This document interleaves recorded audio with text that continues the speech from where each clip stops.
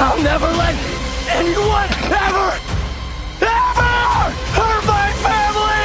Ah! I'm sorry.